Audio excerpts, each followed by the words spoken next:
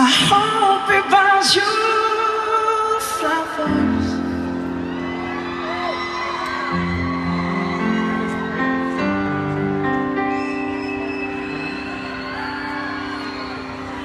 I hope holds your pretty little hand. Give